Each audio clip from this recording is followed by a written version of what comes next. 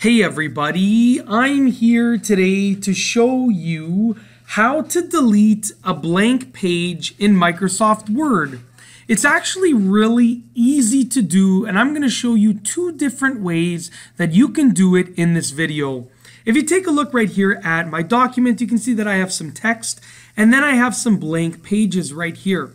Then I have some more text over here. So I want to get rid of the blank pages in between the text. Now, the first way that you can do this, and this is usually, um, this is this will usually work, is just go to the bottom of the blank page and just go to the bottom right hand corner and click there. And what that's going to do is that's going to bring the cursor to the lowest possible point of that page. You can then go and hit the backspace button, and as you can see, it will start to delete the blank page, okay? Now that will work most of the time. However, if you cannot delete a blank page by doing this, you need to display the thing that is stopping you from being able to delete the blank page.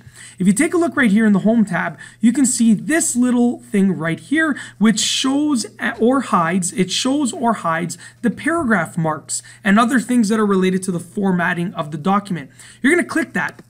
And what that's going to do is it's going to show you all of the formatting that you have done in the document. So you can see there is a paragraph break here, paragraph break here.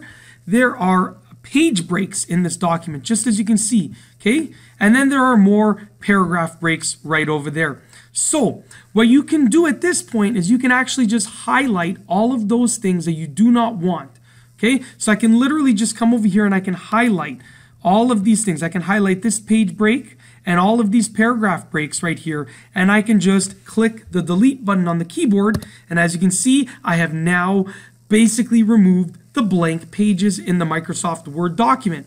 And that's basically it. And see, I can, and now that I have the paragraph symbol showing, I can actually just get rid of this one right here just to make sure that I'm right at the end of the text.